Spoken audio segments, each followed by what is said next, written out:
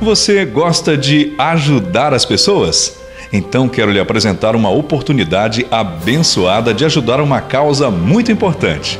O Ministério Casa de Milagres está precisando da sua ajuda para a construção de seu templo, que fica situado aqui em Lago da Pedra, Maranhão, no bairro Vitória.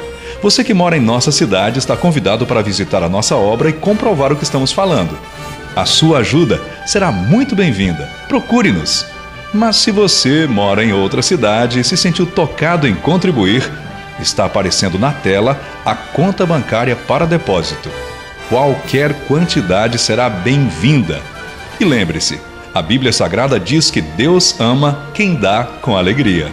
Ajude o Ministério Casa de Milagres a realizar esse sonho e, se puder, compartilhe esse vídeo.